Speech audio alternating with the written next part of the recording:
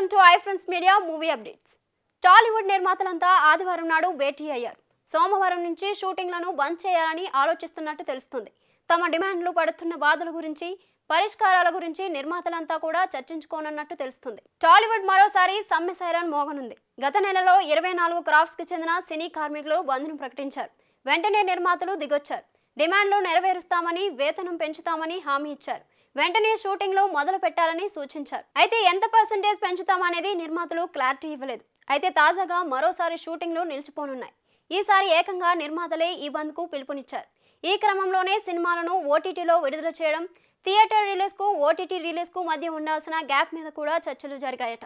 హీరోల రెమ్యునరేషన్లు తగ్గించుకోవాల్సిందేనని నిర్మాతలు తీర్మానం తీసుకున్నారట.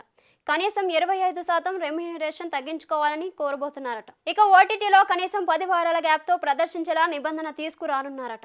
మొత్తానికి నిర్మాతలు మాత్రం ఇలా తమ డిమాండ్లను అందరి ముందుంచబోతున్నారని తెలుస్తుంది. అందుకే సోమవారం నుంచి షూటింగ్లు ఆపేసి ఇవన్నీ చర్చించుకున్నాకే మళ్ళీ షూటింగ్లు మొదలు పెడితే బాగుంటుందని అంతా భావిస్తున్నారట.